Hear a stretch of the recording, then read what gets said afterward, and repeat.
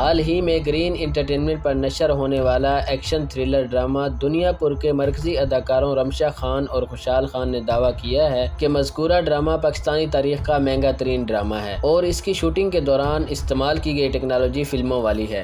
رمشا خان اور خوشحال خان نے some thing heart شو کو دیے گئے انٹرویو میں ڈرامے سے متعلق کھل کر بات کی اور بتایا کہ ڈرامے کی کہانی افسانوی ہے اور اس کا حقیقت سے کوئی تعلق نہیں۔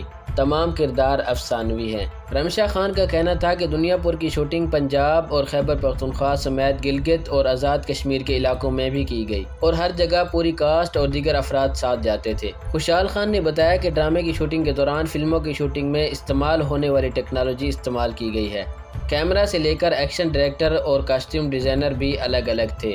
ایک سوال کے جواب میں رمشا خان نے بتایا کہ ڈرامے کی کہانی ایک طرح سے انتقام اور خاندانی و قبائلی تصادم کے ارد گرد گھومتی ہے اور وہ ڈرامے میں اپنے بھائیوں کے قتل کا بدلہ لیتی دکھائی دیتی ہیں۔ خوشحال خان کے مطابق وہ بھی ایک طرح سے اپنے خاندان کے ساتھ ہونے والی ناانصافیوں کے خلاف اٹھ کھڑے ہوتے ہیں اور وہ جہاں اچھے کام کرتے دکھائی دیں گے، وہیں وہ غلط روپ میں بھی نظر آئیں گے۔ ایک اور سوال کے جواب میں رمشا خان نے دعویٰ کیا کہ دنیا پر شعرا آفاق، Hollywood series Game of Thrones کی کاپی نہیں ہے اور نہ ہی کسی دوسری فلم کو دیکھ کر یہ ڈرامہ بنایا گیا۔ البتہ ممکن ہے کہ لوگوں کو بعض مناظر دوسری سیریز اور فلموں جیسے نظر آئیں۔ اسی طرح خوشحال خان کا کہنا تھا کہ ڈرامے کا نام دنیا پور ہے۔ اس کا مطلب یہ نہیں کہ وہ بھارتی سیریز مرزا پور کی کاپی ہے۔ ڈرامے کے بجٹ کے حوالے سے پوچھے گئے سوال پر دونوں نے دعویٰ کیا کہ دنیا پور پاکستانی تاریخ کا مہنگا ترین ڈرامہ ہے، لیکن انہیں درست انداز میں معلوم نہیں کہ شوٹنگ پر کتنا خرچہ آیا۔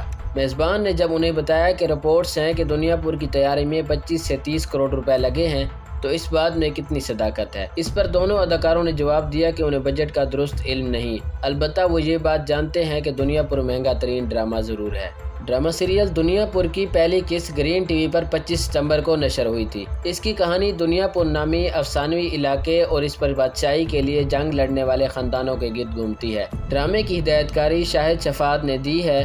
اس میں رمشا خان نمان اجاز، منظر صحبائی خوشحال خان اور دیگر بڑے اداکار موجود ہیں۔ اب بات کرتے ہیں اس کی پہلی قسط کے حوالے سے۔ میں نے جب یہ ڈرامے کا ٹیزر دیکھا تھا تو تبھی سمجھ گیا تھا کہ یہ ڈرامہ شاندار ہونے والا ہے۔ اوپر سے اس کی کاسٹ بھی شاندار تھی۔ سارے ایکٹرز ایسے ہیں جو مجھے بہت پسند ہیں، جیسا کہ نمان اجاز، خوشحال خان، رمشا خان اور سمی خان۔ اب شروع میں جیسے ہی اس کی اناؤنسمنٹ ہوئی تھی، تو سب نے کہہ دیا تھا کہ مرزا پور کی کاپی ہے۔ حالانکہ نام کے علاوہ اس میں کچھ بھی ایک جیسا نہیں۔ دنیا پور ایک الگ اور منفرد سٹوری ہے۔ اس کی پروموشن بھی بہت زبردست طریقے سے کی گئی تھی۔ اب بات کرتے ہیں کہانی پر، جو ظاہری سی بات ہے قسط کے ساتھ ساتھ اور کھلتی جائے گی۔ کہانی شروع ہوتی ہے سمی خان سے۔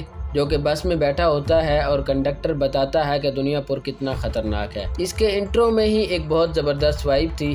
میں نے تین چار بار دوبارہ سے پلے کیا۔ اس کے بعد نمان اجاز کی دبنگ طریقے سے انٹری ہوتی ہے اور معاملات بتاتا ہے۔ اور ایک نیا ایکٹر شاید علی رضا نام ہے اس کا، وہ اس کی بڑی شاندار اداکاری رہی۔ اس نے محبت گمشدہ میری میں بھی اداکاری کی تھی۔ اس کے بعد ایک ریس ہوتی ہے جو کہ بڑے شاندار طریقے سے فلمائی گئی ہے۔ یقین ہی نہیں ہوتا کہ یہ ایک پاکستانی ڈرامہ ہے۔ ہمارے خوشحال خان کو بولا دکھایا گیا ہے۔